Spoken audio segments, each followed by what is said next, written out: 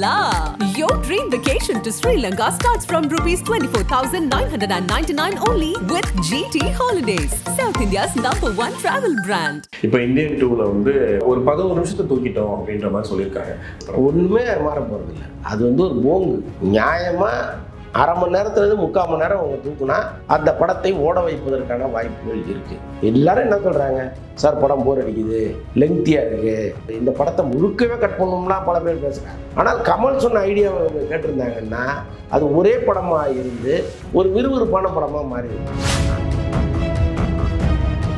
அப்படின்னா உங்கள் ஈகோ தலைகீழ் நிற்கிது இப்போ பேர் யாரு? கெட்ட பேர். இப்போ சங்கருங்கிற ஒரு பெரிய டைரக்டர் தலைக்குப்புறம் விழுந்துட்டாருல்ல சினிமா வந்து அப்படிதான்.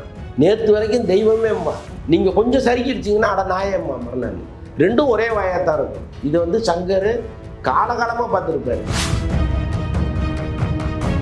ரீசெண்டாக ஏஆர் ரகமான நிறைய வந்து வசப்பாடிட்டு இருந்தாங்க. ஏன்னா வந்துட்டு சரியில்லை முன்ன மாதிரி மியூசிக் இல்லை அனிருத் தேரா இது அப்படின்னு சொல்லிட்டு இருந்தாங்க. ரகுமான் ஏன் வந்து நடுவில் கொஞ்சம் ஃபேட் அவுட் ஆனார் அப்படின்னா அவருடைய மகனை வந்து இந்த இசைத்துறை கொண்டு வரணும்னு ரொம்ப ஆசைப்பட்டார். அப்போ என்ன பண்ணுறாருன்னா மகனுக்கு ஒரு பயிற்சியை கொடுக்குறாரு. நீ வந்து பேக்ரவுண்ட் மியூசிக்கை நீ போடு.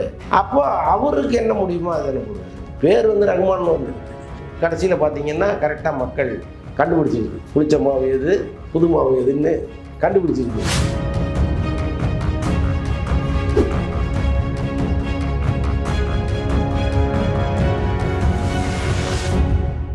உலகெங்கும் வாழக்கூடிய ஆகாயம் தமிழ் நெஞ்சங்களுக்கு கிறிஸ்டியன் அன்பு வணக்கம். இன்று நம்மோடு சினிமா விமர்சகர் வலைபேச்சு ஆந்திரன் இருந்திருக்காரு வணக்கம் சார். வணக்கம். இப்போ இந்தியன் டூவில் வந்து விமர்சனங்களே பார்த்துருப்பீங்க. எல்லா சைடுமே வந்து விமர்சனம் மோசமாக போயிட்டு இருக்கும்போது ஒரு பதினோரு நிமிஷத்தை தூக்கிட்டோம் அப்படின்ற மாதிரி சொல்லியிருக்காங்க. சங்கர் படத்தில் இது மாதிரி நடந்ததே கிடையாது. ஃபர்ஸ்ட் டைம் அதுவும் அவங்க ஒரு ஹி ஹியர்ட் யூ அப்படின்னு சொல்லி போட்டிருக்காங்க. அதாவது நான் நீங்கள் சொல்ல நாங்கள் கேட்டுக்கிறோம் அப்படின்ற மாதிரி பண்ணியிருக்காங்க.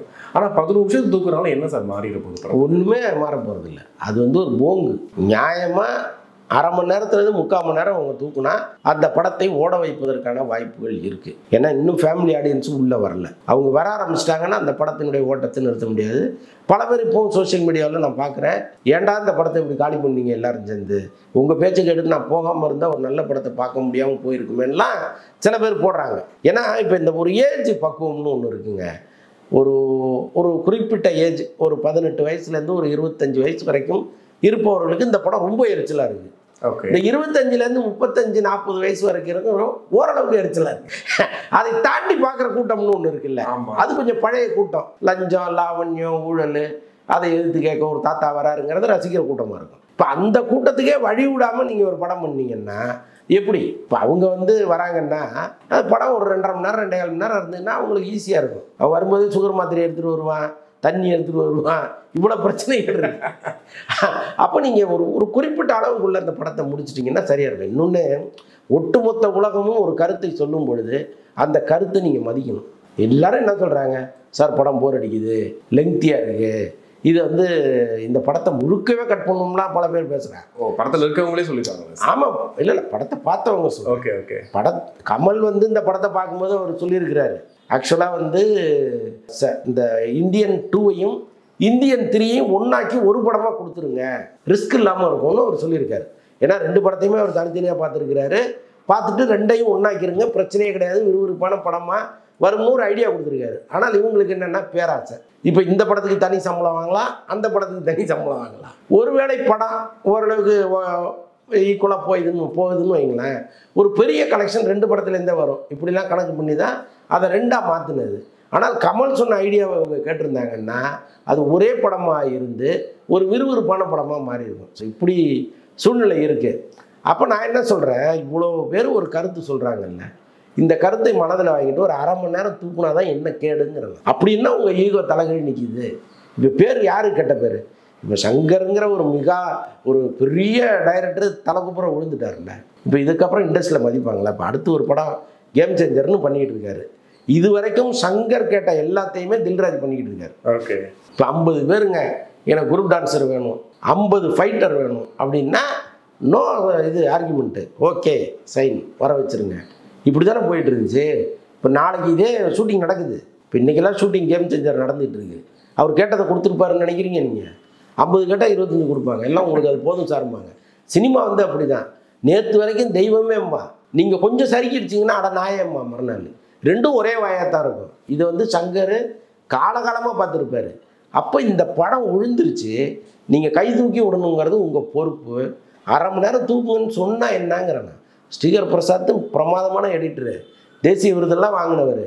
ஆனால் அவர் பக்கத்தில் உட்காந்துக்கிட்டு இதை வை வைக்காதன்னு நீங்கள் சொன்னீங்கன்னா நீங்கள் என்ன சொல்கிறீங்களோ அதுதானே அவர் செய்வார். கண்டிப்பா. ஒரு எடிட்டரை முழுசாக நம்பி சார் கிறிஸ்பாக அந்த படத்தை கொடுத்துருங்க சார்னா கிறிஸ்பாக கொடுக்க போகிறாங்க எதுக்கு மூணு மணி நேரம்?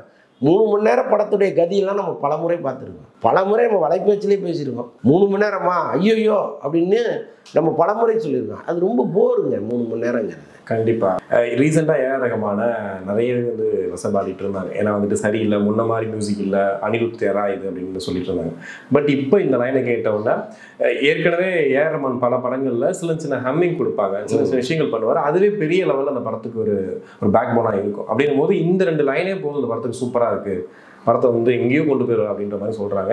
இந்தியன் டூ பத்தியும் பேசுறாங்க. ஏஆர் பண்ணி தான் நல்லா இருந்திருக்குமேன்ற மாதிரி சொல்றாங்க.